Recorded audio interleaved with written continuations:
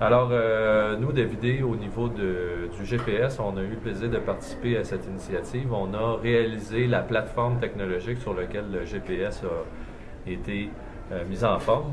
Donc, on s'est occupé, puis on a pris soin de s'assurer de respecter des règles de sécurité très strictes, de faire en sorte que toute l'opération se déroule, non pas juste au niveau de la confidentialité, mais que tous les participants soient anonymes.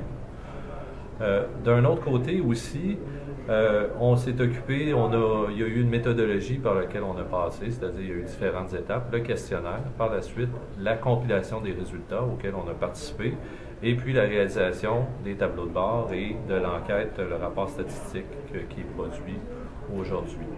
Parfait. Donc au niveau de la plateforme, on s'est assuré de faire en sorte que tous les participants puissent saisir leurs données dans un contexte complètement anonyme. Donc, il est impossible pour nous et pour tous les partenaires de, du GPS de savoir qui a participé de façon spécifique.